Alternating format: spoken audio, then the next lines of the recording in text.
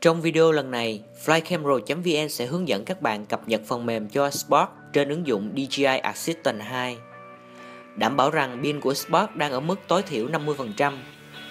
Kết nối Spot với PC hoặc Mac bằng cáp USB. Trên máy tính, mở ứng dụng DJI Assistant 2, chọn thư mục Spot, Đăng nhập tài khoản DJI của bạn, chọn gói update và ấn chọn Upgrade.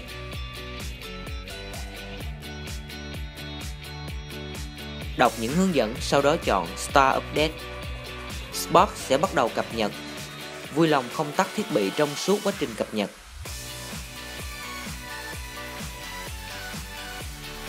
Hành động Spot tự động khởi động lại là bình thường báo hiệu tiến trình đang được thực hiện.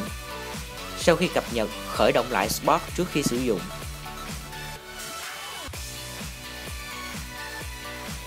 Những lý do khả thi và biện pháp sửa lỗi cập nhật. Nếu gói cập nhật không thể chuyển giao đến Spark, hãy kiểm tra lại cáp kết nối giữa Spark và máy tính. Nếu lỗi này không sửa chữa được, vào Blackbox trên phần mềm DJI Assistant 2 để liên hệ bộ phận hỗ trợ của DJI. Cảm ơn các bạn đã theo dõi.